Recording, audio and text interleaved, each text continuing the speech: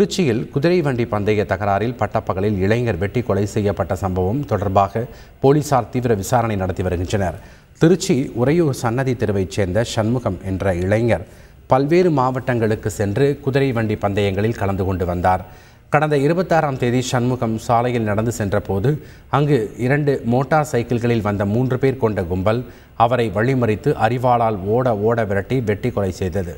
இந்த சம்பவம் தொடர்பாக மாஸ் ஹரி நவீன்குமார் விஜய் தாடி கோபால் அபிஷேக் ஆகிய ஐந்து பேரை கைது செய்தனர். அவர்களிடம் நடத்தப்பட்ட விசாரணையில் சமீபத்தில் நடந்த குதிரை பந்தய போட்டியில் கொலை செய்யப்பட்ட சமூகத்தின் குதிரை முதல் இடத்துக்கு வந்ததை பிடிக்காமல் முன்விரோதம் காரணமாக கொலை செய்தது போலீசாருக்கு அதிர்ச்சியை ஏற்படுத்தியது.